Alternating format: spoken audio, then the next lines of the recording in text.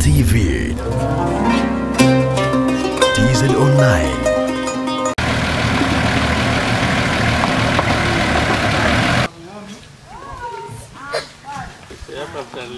Kwa hiyo sisi kama wilaya tumeona ni vyema tu, tupite kwenye vijiji tuone. Kwanza ni kujiridhisha kwamba watoto wamebaki nyumbani wakiwa salama na wazazi wao, lakini la pili kuwasalimia na kuwapa sikukuu kwa sababu tuna utamaduni huo, lakini la tatu ilikuwa ni kuwasalimia wazee wasiojiweza, watu wenye ulemavu, wagonjwa. Kwa hiyo hilo ndo lilikuwa dhumuni, na yote ni katika kusherekea sikukuu ya Idil Fitri baada ya kumaliza mwezi mtukufu wa Ramadhani, na tumeweza kukutana na watoto wakiwa majumbani mwao. Mimi niwapongeze sana wazazi, kwa sababu maeneo mengine tumekuta wamewawekea wenyewe pembea zao nyumbani kuwafanya waendelee kufurahi, lakini wakiwa karibu na wazazi wao. Ni jambo zuri na niwapongeze kwa hilo, lakini wengine wameonekana wapo wanacheza tu kwenye maeneo yao ya nyumbani, nao tumeweza kuzungumza nao.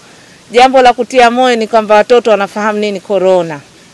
Kwa hiyo inaonyesha kwamba elimu imefika, lakini kama tulivyomsikia Mheshimiwa Rais kwenye hotuba zake, alikuwa anatuahidi tuendelee kuwaelimisha wananchi na zaidi vijijini.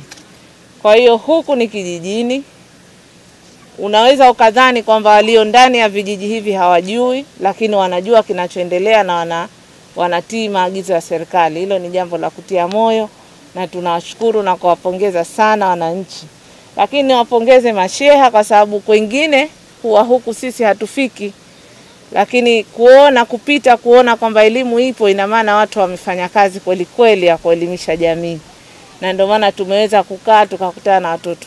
Tulizoea kipindi kama hiki, ukipita vijijini hukuti watoto, watoto wote wako mijini kwa ajili ya sikukuu lakini leo tumekutana na watoto, tumewaona wakiwa majumbani mwao wanacheza, wanafurahi, lakini wako kwenye uangalizi wa wazazi. Lakini nashukuru kwa uda ya kututembelea, nashukuru ya kututembelea pia Sihaba, upeni uwezo kuja kututembelea na tunashukuru Sihaba.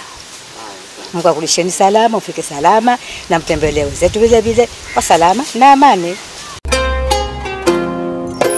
Kwa habari na matukio mbalimbali mbali, usiache kusubscribe YouTube channel yetu ya Mee TV TZ Online.